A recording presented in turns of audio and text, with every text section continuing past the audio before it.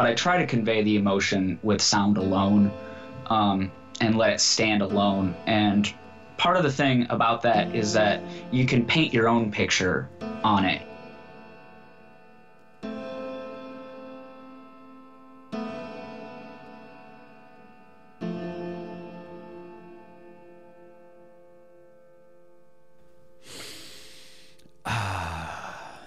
You smell that? It's the smell of spring, boys and girls. And here I am, sitting here watching four beautiful red cardinals pick through my yard as they do their little courting that is so textbook with this season. Bees buzz on the freshly blossomed flowers. It's inspiring, you know? I feel an immense sense of pride from this program, and let me give you a little bit of background in case you're new. I started this program to bring you one hour of introspection, joy, music, and deep discussion because I have a passion for music and people. The waves of emotions I get from listening to music of certain times in my life is irreplaceable. And we call that nostalgia, right? That's the Greek word with the etymology simultaneously meaning homecoming and pain. It's a beautiful word, isn't it? I just want to take a moment to appreciate the architects of language, which give us the tools to convey such complex emotions and phenomena such as nostalgia. But I digress. I had always tried playing music, but was never confident in my abilities to play guitar or bass or sing. But a somewhat constant thing in my life was I wanted to do radio. For years and years, people told me that they enjoyed my voice and that I would be suited for uh, doing radio, that they think people would enjoy listening to me. And I just never pursued it for several reasons. However, the idea of having a platform to play music and bring people the deep joy and reverence from it that I have felt, it has always enticed me. So here I am, doing just that. And it's simply one of the best decisions that I have ever made for myself. To pursue what really drives me, what makes me feel like I'm contributing something to the world, and I implore all of you to do the same. Go out there and chase your passion, not just for yourself, but for everyone you come in contact with. Because the happier you are, the better interactions that you have with people in your day to day life. And feeling good is truly infectious. I know that that's cliche, but it's so true. But uh, yeah, caring for yourself is one of the most important things you can do. So love yourself, do everything that makes you happy, and I promise you, you deserve it. But here's the thing I am at a place in my life where I have all of that kind of stuff figured out. So, what I'm doing with this program is I am helping people who are not in such a great situation financially or otherwise. And today I have a project from DonorSee, and it's from India. Uh, these people rescued uh, these these girls from human trafficking uh, situations, and what they need is air conditioning units to cool down the uh, the places where they're at during the intense Delhi summer. And in their notes here, uh, temperatures reach up to 114 degrees Fahrenheit, uh, making it impossible to study and play. So, uh, a little bit goes a long way. I would really encourage you all to uh, donate to this project. She had another one that I was going to share uh, this week, and uh, I think there was a dozen girls that they rescued, and they were getting them uh, situated with clothes and book book bags for school and whatnot. And I can think of no better project than something like this, where you know, sex slavery is quite possibly the worst crime that you could commit against someone, arguably as bad or worse than murder. You know, I mean, it's it's a pretty terrible thing to to enslave someone and force them into that. So anyway, this is a really good cause, so I would appreciate it. Even uh, five or ten bucks really goes a long way to uh, go on helping this out. And uh, at this time, there is only $140 left to fund it. So, yeah, I would appreciate it, and so would they if you would donate. But let's get into today's interview. Uh, this one was done through Skype, as you'll notice, and there's a little bit of interruption in the uh, service here. I'm still working out doing these interviews remotely through Skype, so uh, bear with me as I do that. I think you're going to see a lot more of those, and it kind of opens up my uh, the range of people that I can get for guests, which is really cool and exciting. But uh, anyway, I will let my guest introduce himself, and I will see you at the end for my goodbyes.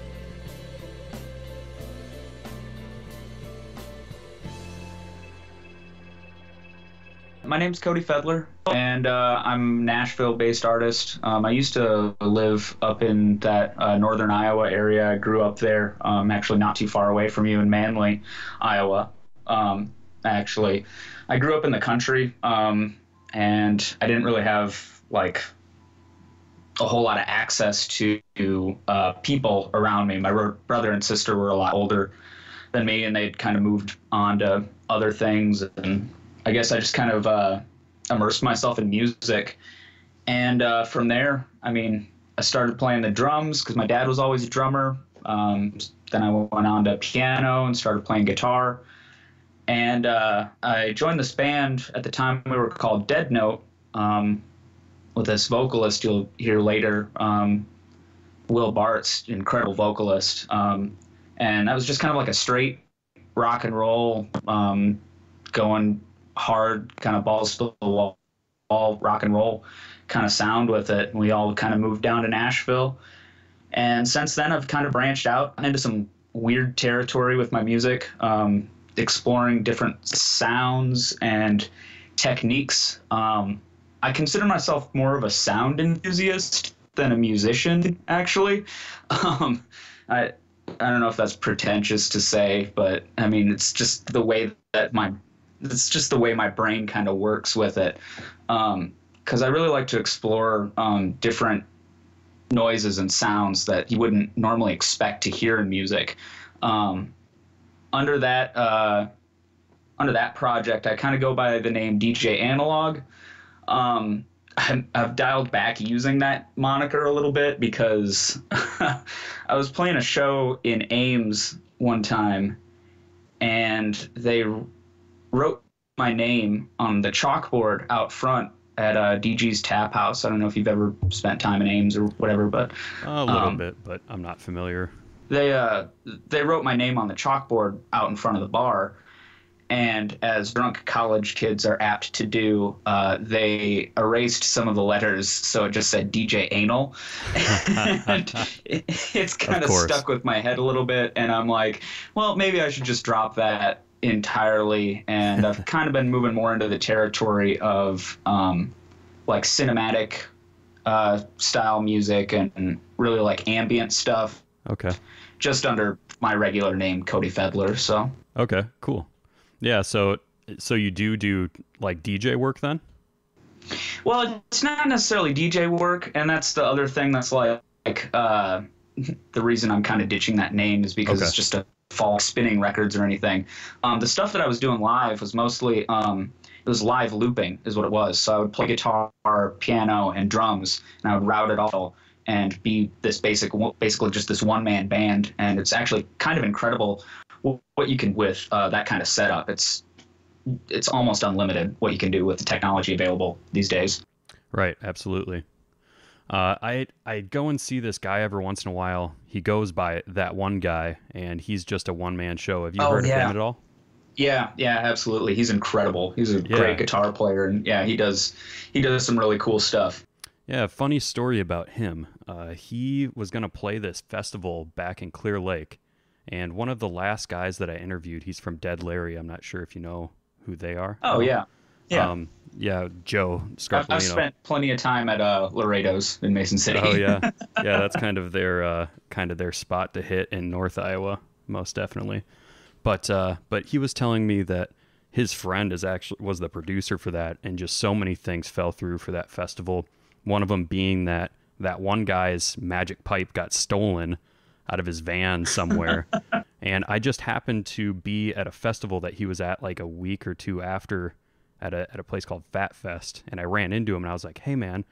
Like I heard your magic pipe got stolen because you were supposed to play this festival in my hometown, and you know it was just a weird occasion. But he had like thrown together something to use for the festival, and he was like all concerned, you know, because you know how artists are, they get all self conscious and like, you know, everything's got to be perfect. So he's like, "Oh, did it sound any different?" And I'm like, "I didn't tell any, you know, couldn't tell any difference, but."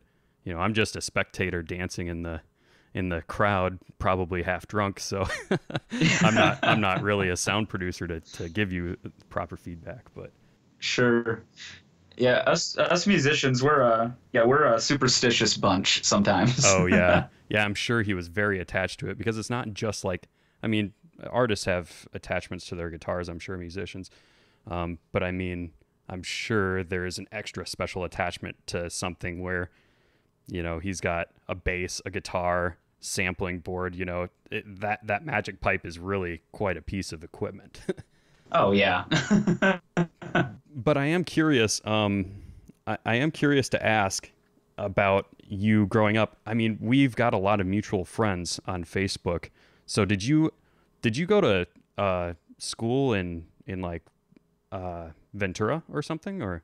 No, I went to school in uh, Manly, Iowa. Um, yeah, I was kind of looking through our Facebook friends, and it's like it's just crazy that we never crossed paths. Um, I yeah, know I feel that like I've, I've, heard your name. Heard your name. Yeah. yeah, I know that I've heard your name around town, and yeah. like, you know, uh, we've probably sat like across the bar from each other, like, and not even like yeah. given two thoughts about it. I'm sure we've um, been at the same parties or something too, maybe. yeah, stuff stuff like that. But uh, yeah, I just uh, kind of got in with um, yeah, maybe a few people from uh, Clear Lake um, after high school, mostly. Um, I was hanging around with just you know the few people uh, like Janelle and uh, mm-hmm.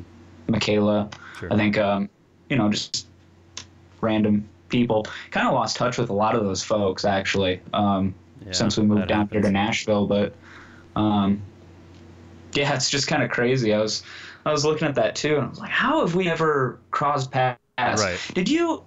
You used to work for uh, Sweetwater, is that right? Oh no. Am I? No. No. Uh, I'm thinking I, of a different person then. That's uh, that's Nick. You might be thinking of. Um, he actually okay. he does currently work for Sweetwater, if that's who you're thinking of, but. Um, it might be. I don't um, know. But but yeah. Anyway, um, yeah, it's crazy. I I just saw in the suggested friends like I saw your profile picture and it was like you playing a guitar. So I was like, oh hey, I'm looking for musicians to to chat yeah. with. So and I've been exploring doing this remote interview thing. So I figured I'd hit you sure. up and and yeah. Well, I've kind of been a recluse a lot of the time that I was living up there too. To be honest, um, I mean, like I said, I lived out in the country, so and I didn't really have like internet or video games or anything. And I really just immersed myself in the music while I was living out in that area. Um, sure. But then I moved to you know Mason City for a while, and that's probably about the time that we had a bunch of mutual friends. And then sure. after that, I actually moved to Ames just uh, with the band uh, Dead Note. We're currently called the Euclids now, but uh, you know I moved down there with them, and yeah, just it's been uh it's been an awesome time. For sure.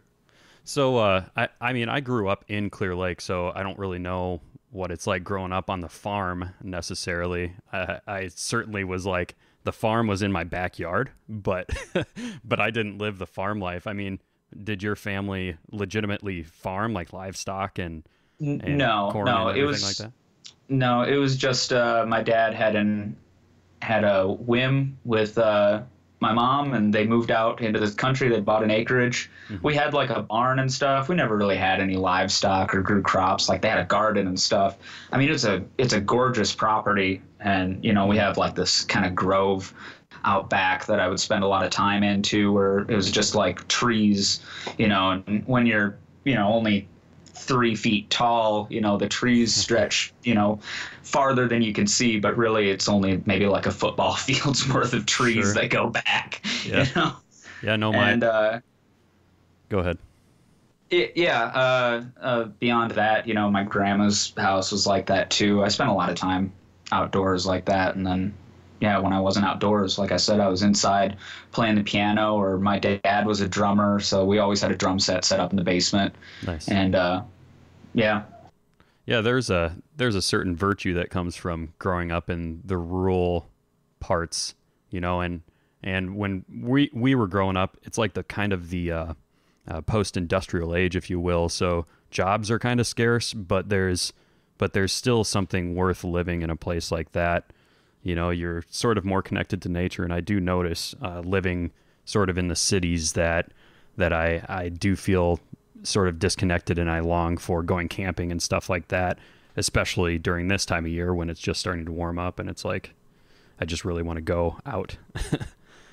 yeah, uh, that's actually a theme that I um, like to inject into my music a lot. Um, as far as just going back to nature and um, getting away, especially living in Nashville right now, where you can't look up and see a single star in the sky. Oh, it's sure. just crazy living in this like hustle bustle kind of area going into that. And yeah, a lot of the lighter piano stuff, especially the last track, uh, or the one of the tracks, uh, Spring, that we're going to be listening to here, um, really kind of embodies that whole uh,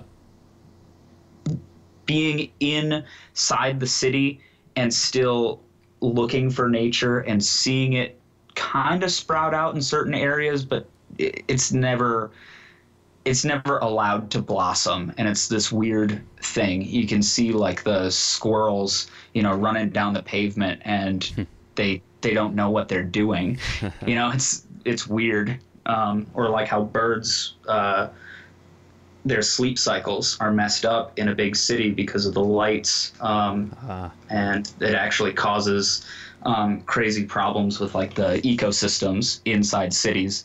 Huh. And like I said, I like to explore that those kind of themes, even though a lot of it's instrumental. Um, I try to bring those out with different sounds and different uh, emotional tones, if you will. I guess. Sure. There is a sort of yin and yang in living in cities because you're so close to culture, right? But you're far away oh, from yeah. nature. So it's like you're fighting your your desire to be close to a community that you can be a part of, but at the same time, your you, you know primitive self sort of longs for for that connection with nature. So yeah, it's like this evolutionary hangover in your brain that's like yearning to go back to it. And I'm actually we're actually kind of lucky here in Nashville. There's a lot of uh, nature parks and like there's like a national park just like in the middle of the city, kind of. Uh, maybe it's a state park or something like that. But there's this like nature area that spans quite a quite a bit of the city, mm-hmm. um, just a little bit a ways from where we live. And uh, my wife and I like to go hiking out there occasionally. So nice. Yeah. So I'm kind of curious to know how did you end up down in Nashville? Your whole band moved down there. That's a that's a pretty good spot to go for uh, for a band, and I mean it's really competitive music wise? yeah, mean, yeah, it's definitely definitely really competitive down here. I can say that without a doubt. But at um, the same time, there's but, there's um, more opportunity there than oh, probably oh, yeah, anywhere absolutely. else. Absolutely, it's just one of those things where we decided, um, where it was like we were all living in Ames at the time, and we were uh, enjoying quite a bit of success in Ames at the time, and it was pretty cool. Um, but we kind of decided, um, just on a whim. Um, well, we had actually recorded down here. Um, we had gotten into contact with uh, with a guy uh, named John Elefante, who was the current who's the current singer for the band Kansas, who uh, recorded our last album, and he, you know, we went down there and recorded with him, and we explored the city a little bit for that week, week and a half that we were down here, and we just decided how much we loved it, realized how much opportunity we would have, not only as a band, but individually, you know, for other aspects of the you know music industry that we would might want to pursue. So yeah, it's just been this whirlwind trip um, that we've been on uh, for the past almost three years now. It'll be three years in August. Um, cool that we've been down here, and I can honestly say that it's probably been the best decision that I've ever made. Um, was moving um, out of that area. Not to say that I don't miss it, but moving out of that area and um, coming to a place where, like you said, there's a ton of opportunity, um, and even if it's not necessarily to quote unquote, you can't see me in podcast land, but I'm making air quotes with my fingers.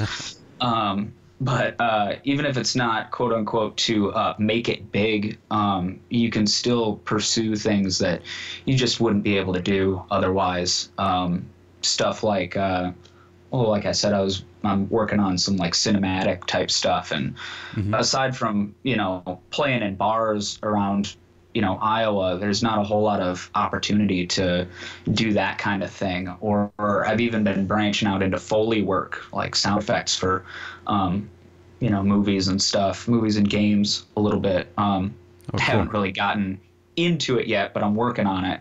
Um, and like I said, it's just the opportunities down here just pop up all the time. Right. Yeah, I can definitely relate to you know moving out of out of Iowa where yeah, like you said, I I love Iowa. I love all the people there. And and there were several things that um you know worked into me moving. It certainly wasn't to to you know take a leap forward like yourself and go you know kind of pursue your dream in a way. I mean, um it, because a musician moving to Nashville, that's like that's your goal, you know, is to go there and, and kind of make it. Whereas me, I was just trying to, you know, go somewhere where I knew I would have a stable job and be kind of closer to the action as as it were in relation to live music because I just hated having to drive up to to Minneapolis or down to Des Moines to go see a band, you know, Yeah, yeah. because I just Oh, love yeah, live music so thing, much. that- So yeah, there's stuff to do constantly, so that's that's always a plus for sure. Yeah, absolutely. I think it's kind of a beautiful thing when a band stays together and moves together. I mean that that really shows a sense of brotherhood that you have with those guys. Oh yeah, I mean we've been uh, we've been playing together for God, it's got to be about ten years now, actually. Okay. That we've been you know playing together um, since high school, just playing in uh, Will's garage out in Grafton, like just. You know, not knowing anything about any of the instruments we were even holding at the time, and we were just like figuring it out. Um, I think there's there's like this quote from Dave Grohl, who, I mean, he says basically like, you know, the whole point of being in a band is you get together when you're like 15 or 16 and you you lock yourself in your friend's garage and you just suck. and that's what you do. You just suck and then you keep sucking until you don't suck anymore. And Yeah. that's pretty much what we were doing. I mean, you just got to have like a passion for it, I guess, and you know, keep working on it even if there are disagreements in, you know, between people, you can still keep on working for it and work past those things.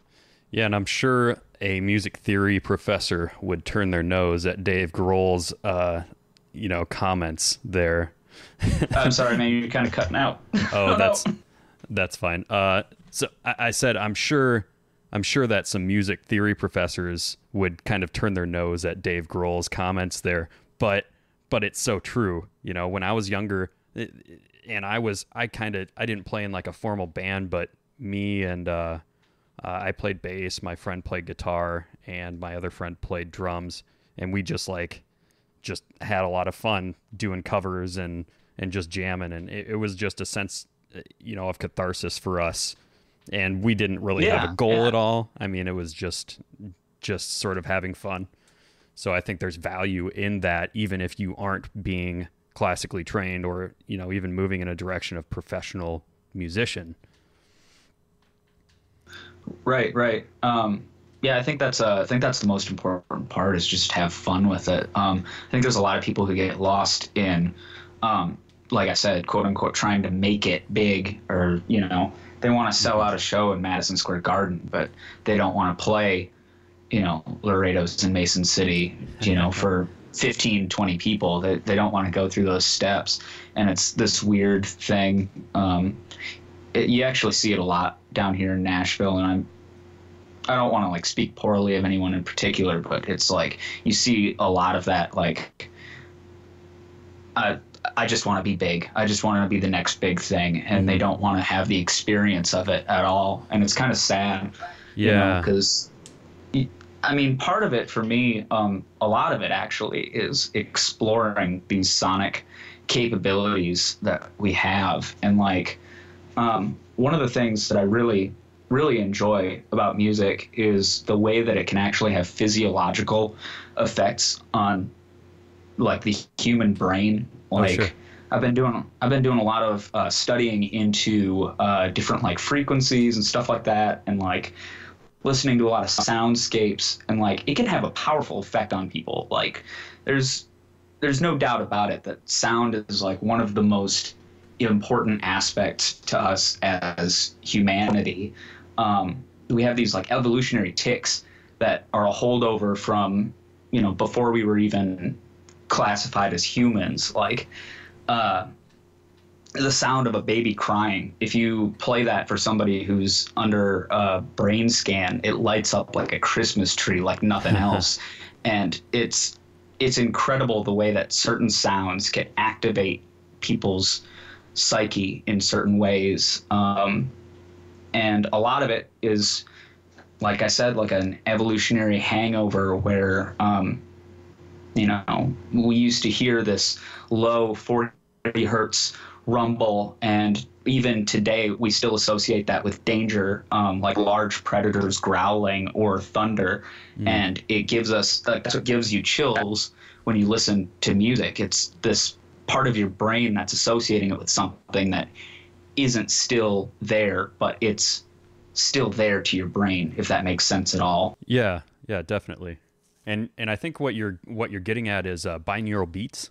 And uh, i've been I've been kind of following that phenomenon for a little bit. I listened to this podcast about human optimization, and he had a guy on there, and he was talking about how you can listen to certain frequencies while you're like working out, for example, and it'll uh, release the hormones at the right times and whatnot if you time it correctly, and and it's just you know there there are just sort of unlimited possibilities that you can do to manipulate your own mind or obviously someone else's. Uh, one of the weapons that they use in riot uh, uh, police is this sort of uh, huge woofer that that puts yeah, out like yeah, this huge high frequency uh, sound and it just like shuts down people's you know central nervous system you just like have to stop and like curl up and your muscles yeah. tense up. And so yeah it's it completely it's, incapacitates people. It's it's insane the type yeah. of stuff that you know sound is capable of doing.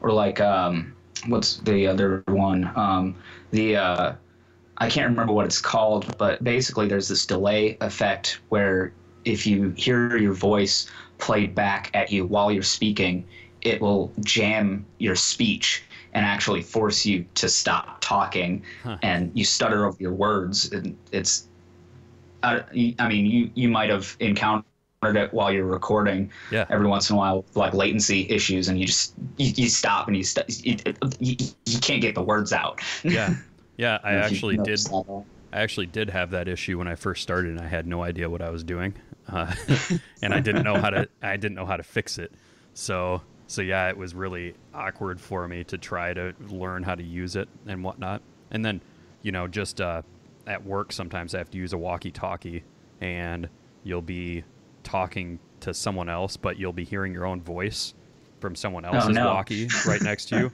and oh yeah, so so I know exactly what you mean. And I thought it was just me not being able to separate, you know, my what I'm trying to say with what I'm hearing I mean, I guess that is what's happening, but yeah, but I didn't. It's just our our dumb human brains not being able to comprehend, you know, technology because it moves so fast.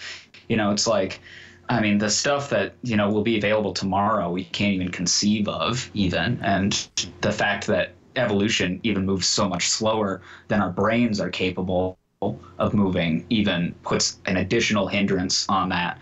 So, um, yeah, no, it's totally normal. that makes me feel a little bit better, at least. Um, but hey, uh, why don't we get into your music here? Uh, what I'd like to start with is uh, this this track you sent me with your band. Um, uh, what's what's the name of your band again? Yeah, it's the Euclids. The um, Euclids. Uh, I'm glad I didn't say it because I was going to say yeah, the like Lucids the... or something. yeah, it's the uh, he's was like a Greek he invented geometry is what he did. Euclid ah. was a you know mathematician in ancient Greece. Those Greeks. And, and speaking yeah. of the Greeks and music, um, I think the guy's name was like exactly. Uh, oh, what was his name? I really don't remember. He was a he was like a predecessor of uh, Archimedes and he created the Western standard. Yeah, that that eight note scale. Yeah. yeah. that's that's a Greek invention, and uh, yeah, that's another thing that I've been meaning to explore um, as like microtones and stuff. I haven't really gotten into it yet, but I've really been wanting to explore into that. I'm going to need to figure out how to do it um, the way that I want to, but that's definitely something I've been wanting to get into. Yeah, keep me posted, definitely. Um, but um, but yeah, this song "Social Damage," and I think um, there's definitely like a political overtone to uh, your your vocalists, you know, lyrics in here. But I but I don't think they're partisan necessarily. Like like it's speaking to this this this phenomenon you know? Yeah it's something we can all kind of relate to um, and even though it was written you know a few years ago i, I think it's never been more true than now. Um, it's really um, lambasting like the current state of the media. And i mean like it or not there is a lot of fake news out there. Um, mm-hmm. i don't care if you're part of the right or part of the left. I mean it's just true. Um, yeah. the amount of sheer just crap that's thrown about and it doesn't make any sense and, and it's hard to discern what's real and what's not. And uh, with the lyrics of this song it really um, you know digs into you know the fact that the mass media definitely likes to lie to people.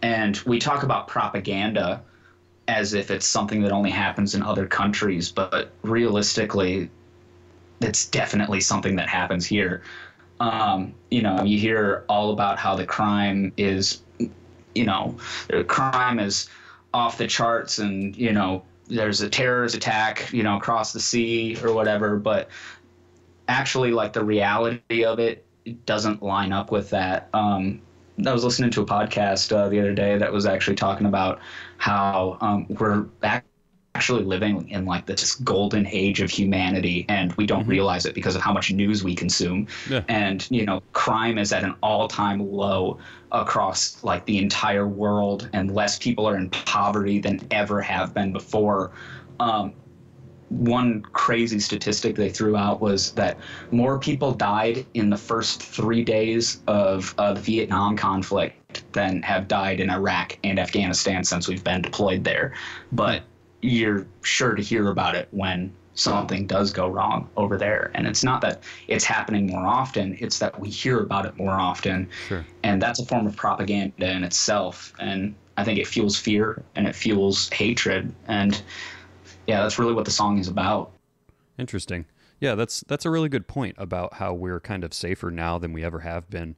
Uh, I've heard a lot of stories about, for example, um, people's children uh, they'll they'll let their kids like go down the street for pizza or something like that for lunch. You know, like they're they're eight and they're ten year old, and and, and that's and, totally normal thing. Yeah, I mean, I did it when I was a kid, and I thought, oh, maybe that's just because I grew up in a small town. Which actually, in rural parts, um, you're you're far more likely to be abducted as a child and have a violent crime committed against you in in rural America than you do actually in in the cities because there it's less densely populated, so people are less likely to, you know, come to a, a person's aid.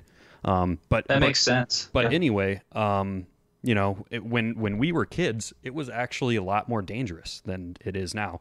Um, it, but despite that, people think that we're living, and like you said, it, it does contribute to uh, the way the media spins stories and spins statistics to make us feel like we we need some sort of you know, uh, not governing force, but some sort of like like worry to have, you know, to justify to justify some sort of draconian uh, penalties on people. And and yeah, we we definitely live in a time where you are far less likely to have your child abducted by any normal person, but the the police will come and take your kid and it's kind of silly to me that, you know, it's like they go and kidnap your kid to keep your kid from getting kidnapped you know and and the parents the parents won't hear about it. They the, you know they'll be like oh wow little timmy and and little johnny didn't come back from pe- the pizza place you know for like two hours. I should probably they must and, have got abducted. Yeah yeah so they go and that's they the first thing and, that's going into their head. and they go to the police and and you know get them taken away by child protective services because they let them walk down the street. And it's like I mean, this is one specific story that I heard, but it really got me thinking, you know, like, I don't know, perhaps the the governing forces are trying to do something good because they're worried about something happening to your kids, but in in effect, they are doing the same thing that they're worried about happening. Yeah, it's very very hypocritical as far as that goes, and um, yeah, to draw it back to more of the media too, it's like I think the media really portrays this whole um, doomsayer um, persona on the world, and it's just you know that contributes to legislation being made to make that kind of thing happen because Mhm. people call for it, and I mean, you know, it's not not to say that democracy is a bad thing, but that's just kind of the way that the cookie crumbles as far as democracy goes. Sure. I guess. Um, but yeah, I think, uh, like I said, I think it's uh, really poignant today uh, more than anything. Um, just because of all the crazy stuff with the alternative facts. Again, finger quotes that you can't see, but alternative facts and fake news and all this all this stuff you keep hearing about that people go on and on about. I'm just sitting here thinking like, can't we all just get along? Can't we all just like sit down and like play some music and like have, have a beer? Yeah. Can we do that? I definitely understand, and I try to I try to stay away from politics, but I can't, I just can't help it sometimes. You know, like Yeah. it's just such a big part of who I am. So I know it's gonna just leach through into these interviews. Sure. But but anyway, I, Well, especially it- when you're talking with musicians, a lot, a lot of songs, a lot of songs have this very politically charged message. But I, uh, you pointed out this one, it's not partisan at all. Like it's definitely a thing that will resonate on both sides. So.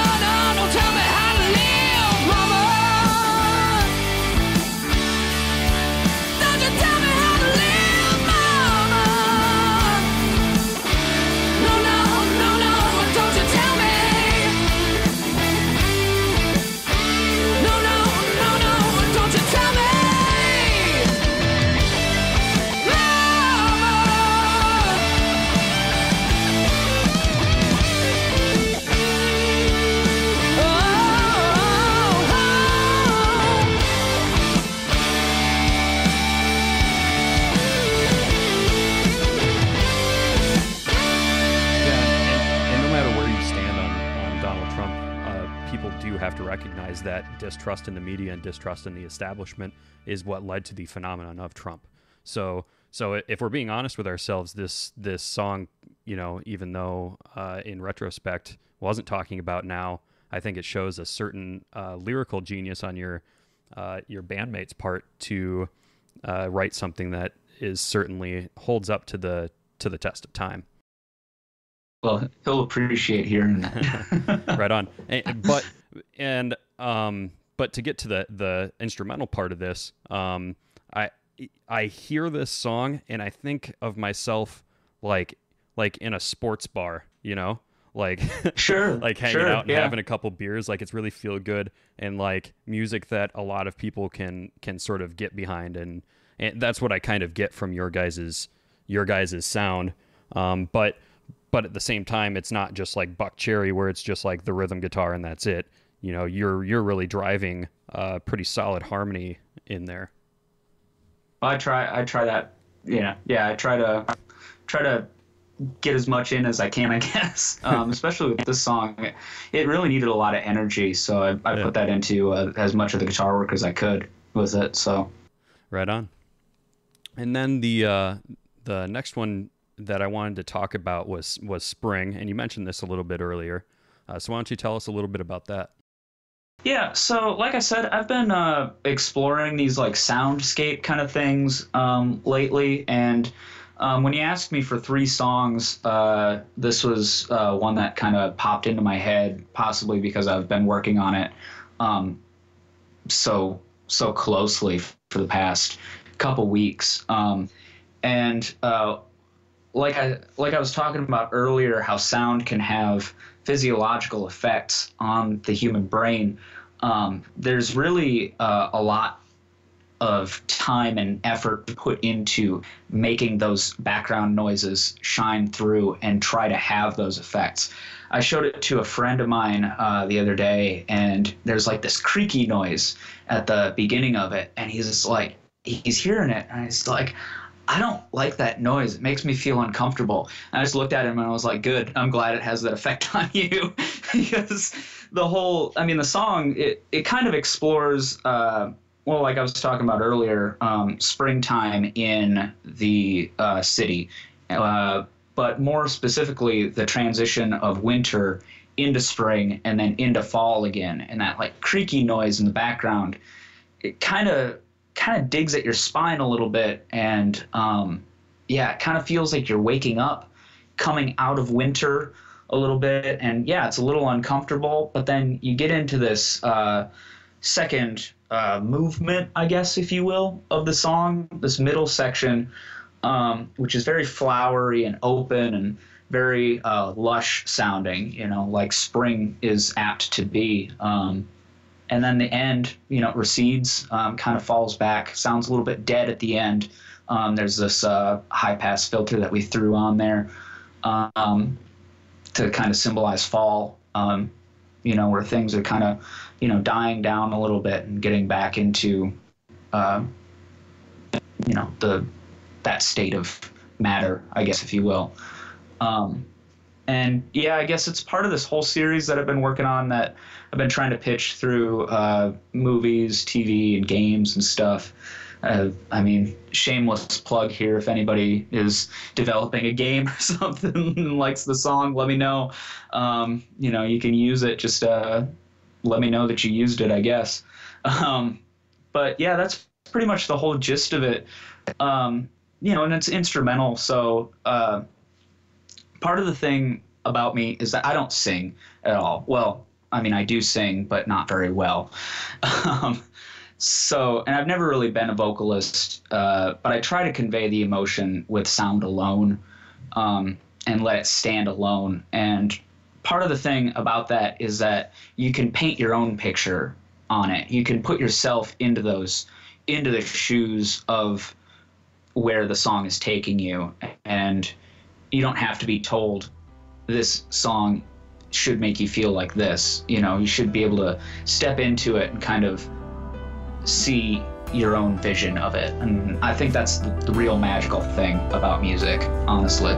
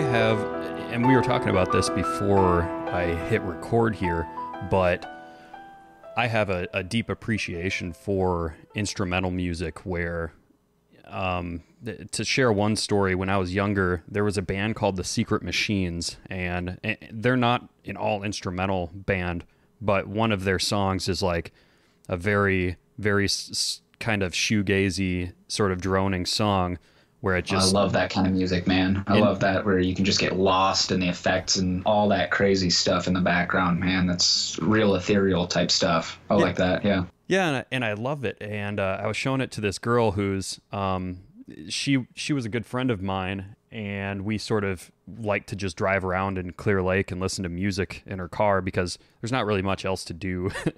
It- it- you know, Yeah. I mean, what are you gonna do when you're that age? You know. yeah, and, and I think that's where sort of a deep appreciation for music came from for me is that uh, that it gave me something uh, to sort of uh, feel catharsis and, and sort of latch onto. But but we were listening to this song, and I was like, or she was saying, "Oh, like where's the words? Like this is kind of boring." And I'm like, "What do you mean? Like this is awesome. about? This is awesome. Aren't you feeling? Aren't you feeling this? Like." I don't have to hear any words. I don't need the poetry. I mean, I'm certainly appreciating it when when it is in music, when it's appropriate. But uh, this is what's appropriate now to me, and I was just kind of blown away by that. And I, I just don't. uh, Most people, I feel like, don't ever come out of that.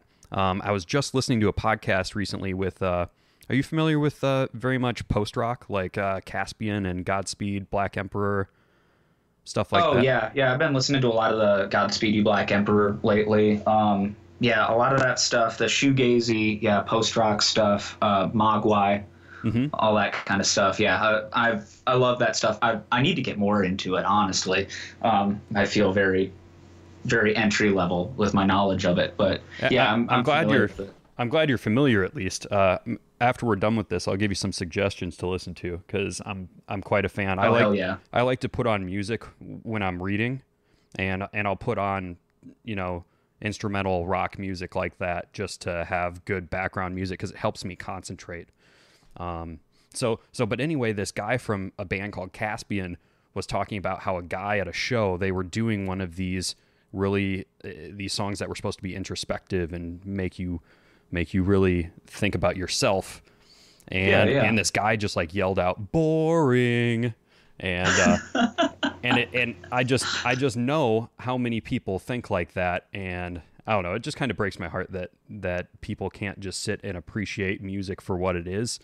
Uh, like you'll hear at shows all the time, people are hollering out songs that they want to hear. It's just like motherfucker, this isn't a jukebox. You paid to see these people play, but you you don't have the final say in it. Like Yeah, absolutely. But, you know, to the other end of the spectrum, I mean, there's other music that, you know, we might not enjoy that those people find incredibly invigorating. Right. And I'm actually working on a new project right now. I don't listen to a whole lot of just straight pop music.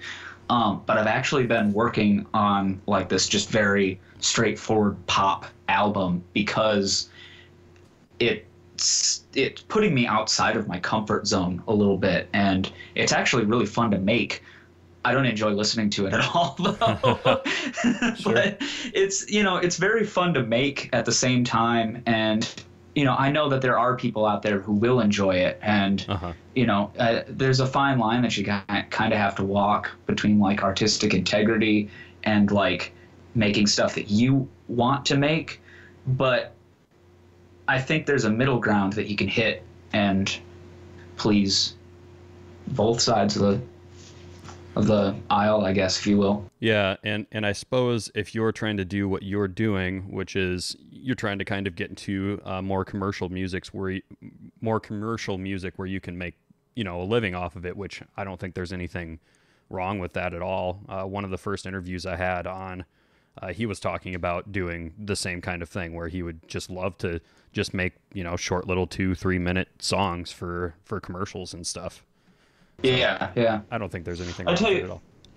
I, I tell you what my dream job would be, honestly, is to get on board with like a children's uh, television show and Uh-huh. just like do the incidental music for it. You know, like there's a duck character that comes on, and I, you know, pull up an oboe sound on my keyboard and Yeah. just play like wah wah wah wah wah something like like that. That would be an absolute like dream job for me. 'cause, you know, but I that's kind of off topic with that. But People that get Um, into children's entertainment, I think they have a blessed job. yeah, Probably have a lot of fun with it. yeah, absolutely. Um, you know, your customers aren't too picky as long as they've had their nap, I guess. Good point. Um, so and then uh, the the last song you had for us here uh, is called "Zombie Drones." Uh, so why don't you tell us a little bit about that? What that's all about? Oh man, are you are you ready for this? Because this is gonna get this is I'm gonna quite- get pretty weird. Quite ready. I I hope you're I hope you're adequately prepared. So, Zombie Drones is kind of this pet project of mine that I've been mulling around in my head. And to be honest, this song might not even get used for the project, but it's this idea that I've been working with for I don't know the past 5 years, honestly, and it's a sci-fi rock opera that I've been toying with. And so, let me just set the stage for you here. Um, 10,000 BC, you know, around the time of the uh, last ice age, and uh, zombies are uh, plentiful on the earth. Um, the ice age rolls around and they kind of get frozen because they're not warm blooded, right? They get frozen. And so time passes and they are, uh, they're still preserved under the Russian tundra. You know, the Russian tundra, there's some in Alaska, there's probably some in like Antarctica and stuff. So you kind of fast forward a little bit here and you go into uh, the part about like Rasputin being kind of into the occult. You know, maybe he was a little bit of a zombie. I don't know if you're familiar with the history of Rasputin. You know what's really? I, I'm sorry to interrupt you, but what's really funny about this is I listened to a podcast called Hardcore History, and uh, yeah. I'm oh yeah, with Dan Carlin. yeah, yeah. I'm a huge Yeah. fan. and I'm Yeah. listening to the one about World War One right now, and he just got done. You know, he takes like 45 minutes and talks about Rasputin, and I mean, I've heard the name because there's a beer named after him. It's a really delicious Sure. beer, by the way. Um, Did did he touch on uh, his death at all? yeah, And how, like crazy it was to Yeah. try to kill him. Yeah, and it's uh well, he talks about how it, it may be shrouded in uh mysticism a little bit because there's, you know, he's sort of like you said shrouded in the occult. So Yeah. so so there's Yeah, kind of sto- a mythos. Stories spread. Yeah. Yeah, there's there's a sort of mythos to him, definitely. Um But I guess for the, for the listeners who might not be familiar, um, Rasputin supposedly, and this is taken with a grain of salt, um, but supposedly he was shot like six times, got up, like spit in the dude's face, then they stabbed him, and he still didn't die. And then they poisoned him, and he still didn't die. And they ended up having to like chop him up and throw him in the river or something like that. And his body was never found afterwards, or something crazy like that. I, I admittedly need to do a little bit more research into it, um, but you know that's part of the mythos of this sci-fi fantasy world that I'm laying out here. Um, you go beyond that, uh, you go into how uh, in World War II uh, the Nazis were again really into the occult. Um, they stormed into Russia. They uh, had to retreat. Maybe it was because of the zombies. I don't know. Maybe it could have been. We don't know. No, we're not saying it was. We're not saying it wasn't. But you know, the evidence might be there. So here's where it really gets crazy. So World War II ends, and we go into this Cold War era America, where, well, weirdly enough, we are uh, going against Russia tit for tat in this uh, in this arms race, and we find out that maybe there's some zombies down there, and conveniently, we ratify Alaska around this same time as a state. Not saying it's because of the zombies, not saying it is. I'm just saying it kind of lines up here, you know? It's kind of crazy. Uh, and then uh, it kind of explores into uh, global warming coming about, and we're afraid that these zombies might thaw out.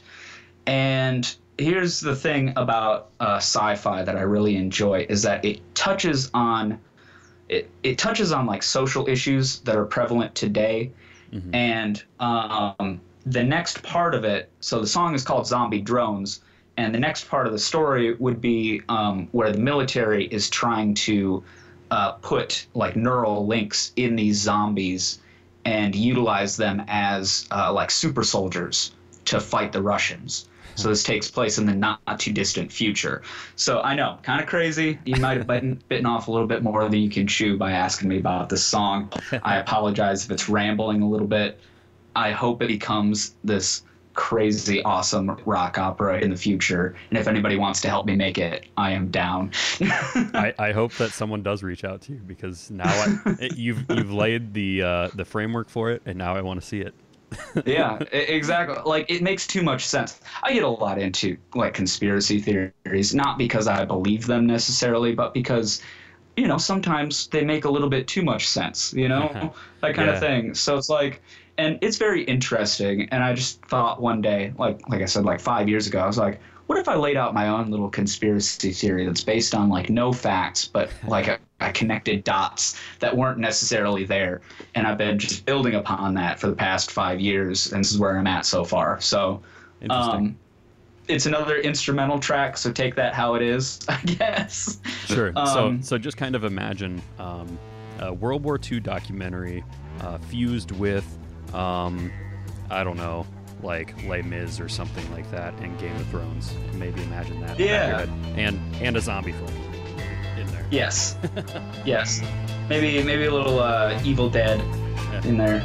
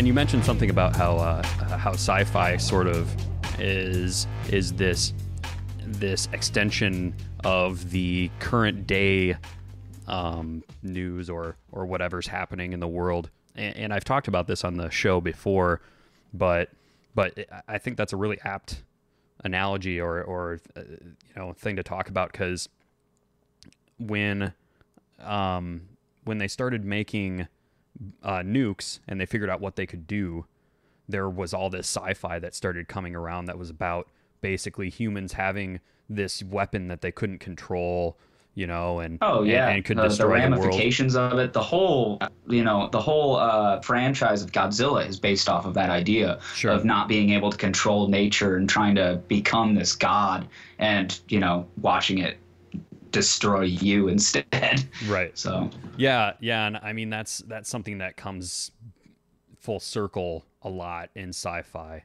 You know, it's it, it hap- we see that archetype all the time and and I don't think it ever gets old as long as you know the filmmakers are really creative about it. You know, like we all still love zombie flicks for example. You know, there's something right there's something right with that with that archetype. So but uh, yeah, I I think, think, it's time to make that. it's time to make that little rock opera thing. Yeah. It's it's right for the picking. I'm into it. um, but uh, but I think this leads pretty well into my uh, final question, which is: Do you remember a time in your childhood when you realized your mortality? Well, that's a pretty deep question, and I'm I I've been listening to your podcast a little bit, so I knew the question was coming up, um, and I was thinking about it, and I honestly don't think that there was any single moment that uh, made me think about my mortality specifically, but it's always been this creeping thing, and I don't think as humans, we're actually capable of understanding our own mortality as far as that goes. And I think that's why religion has been, for lack of a better term, invented or relied upon for a lot of people, is because it's this coping mechanism. Now, I'm not going to say, you know, that it's wrong or you know religion is wrong or if religion is right or anything like that like whatever you believe you believe and, and i i hope you're right for your benefit you know um, but i don't think as humans we're capable of understanding like what infinity is um, i was listening to something that uh, neil degrasse tyson was talking about um, a while ago yeah, yeah, where he was talking about how different, yeah, different uh, infinities are bigger than other infinities, and like it just blows. It's this whole other realm of thought that I don't think a lot of people have ever considered. And yeah, as far as like a single moment that I've had to wrestle with my own mortality, I don't think I have. Um, but it is kind of this creeping thing that I think it's common for people to think about um, their own. You know, what are you going to do next? I mean, I'm just kind of worried about like what I'm going to do. You know, in the next hour after this, you know, you know, I might make some more music, or you know, I might, uh, you know, have something to eat after this, you know. But uh, as far as like wrestling with the idea of mortality that's it's it's a hard question man. It's a hard question. Yeah, yeah, I, I definitely put people in a hard spot because I feel like that uh, it's something we all sort of think about, and and anyone who, you know, even if you're super religious, you definitely you definitely worry about it because what no matter what, you know that your body, you know, whatever you think about a soul or a spirit, your body ends, and there's there is a finality in that, so there is something definitely to worry about, and we spend a lot of time and and a lot of we make a lot of efforts to to run away from that fear or that feeling of nothingness nothinglessness um so so yeah i i definitely understand why it can be hard to put into words because because it's an emotional thing right i mean how how do you put in words that one one day you're going to be here and the next day you're not and you have no idea when it's going to happen Or even worse, let's say you're uh, terminally ill and you do know when it's going to happen. That's almost more terrifying to me. Oh yeah, absolutely. I, I couldn't imagine like if somebody handed me a piece of paper with the date and time of my death, I'd, Yeah, I'd throw it right back in their face. That's that's that's not right, man. You can't do that to somebody. yeah, it's a, that's a certain kind of terror, man. I, I can't even imagine. You know, I was I was actually just thinking about this. Um, you know, to go back to the original question, uh, like I said, I don't think I ever thought about a a single moment where um, I realized about mortality, but I'm thinking about a certain time that I know for a fact that I didn't, and I'm like hitting my head right now because I'm like remembering this time. I was probably like three or four years old, and my grandma died, and like I went to the funeral and everything, but I was just so young that I don't think I like comprehended what was actually happening at the time. I didn't like necessarily know that she wasn't going to be around to bake cookies with anymore, you know? And I was just so young that like maybe that concept eluded me. Um, I think I even remember maybe like a few weeks later, um, we were going to my other grandma's house, and my brother said, you know, get your shoes on. We're going to grandma's house. And I think I asked him, like, which grandma? You know, like, I, I can specifically, like, remember that moment where it wasn't necessarily that I recognized it, but I was oblivious to it. So Right, I don't know like- if that helps. Yeah. So so you just didn't understand that she was gone. Yeah. Yeah. that's Uh, that, that's I suppose that's probably the moment, you know, that you know when he said, uh, "Yeah, I'll never forget this." He said, "What do you, What do you think?" You know, when I asked which grandma, he's like, "What do you think?" You know, Huh. because he was old, he was old enough to know, and I'm sure I probably offended him when I asked him which grandma. You know, and so Wow. yeah, that was probably the moment. Interesting. Fi- final answer. Now now were you brought up religious? Well, I wouldn't say like tightly religious. Um, I mean, I went to church, uh, Lutheran, um, got confirmed, went to Sunday school, um, but it wasn't ever a huge pressure. Uh, my family has always been super supportive, um, and I'm super grateful for that. Uh, that you know, even in music, you know, they've always been super supportive of me pursuing that kind of thing. And, you know, with when religion, you know, like I said, they were like, you know, get confirmed. And then after that, whatever you decide, you decide. So after I got confirmed, I just said, you know, I don't want to go to church anymore. I was pretty angsty teenager, as I'm sure we we all kind of were, and uh, Yeah, if you hung out Yeah. with the same people as I did and listen to the same kind of music, I, I think I know where you're coming from. How old are yeah, you again? I'm uh 25. Okay. So you're just just a little bit younger than me. I'm I'm 27, but yeah, still, you know, same folks, same music, I'm sure that you were Yeah, influenced by. Um, yeah, and it's it's all part of that uh, generational thing too. I think we were uh, probably given a lot of freedom. Um, I'm sure you were too. Just uh, you know, to explore, and I think um, I don't know how, how old your parents were, but you know, I think the common teachings at the time that we were, you know, maybe growing up was more or less laissez-faire, let them figure it out on their own kind of thing. And who knows, maybe maybe it'll work out in the end in favor of that. Maybe when I'm like 60 years old, I'll see the light, more air quotes, but maybe I'll see the light and say like, what have I done? You know, I've wasted my time. I need to go, you know, explore religion, whatever religion that may be. Yeah. Yeah, um I I mean I certainly was was able to uh, my mom was very socially liberal and whatnot, so so I I definitely had a certain kind of freedom, but she also didn't like that I didn't want to keep going to to church. Uh, I was raised Lutheran too. Actually, if uh, if you were to poll everybody who has been on this program, it's been mostly Lutheran people, which is I think that just speaks to you know the uh, the demographic in the Midwest, I suppose that a lot of a lot of Bohemian Protestants and whatnot. So it sort of lends itself to that. Um, which which sort of reminds me I need to branch out more into into different demographics of, of musicians, but but that's neither here nor there. Um, but I think we're gonna wrap up there, man. Um, unless you have Yeah, anything else you'd like cool. to say. Um, I guess there was one other thing that I guess I would want to kind of explore as far as uh, this conversation we were just having. Um, kind of a weird tick about me philosophically. I actually don't believe in good or evil. Is part of my psyche. Like I don't believe that.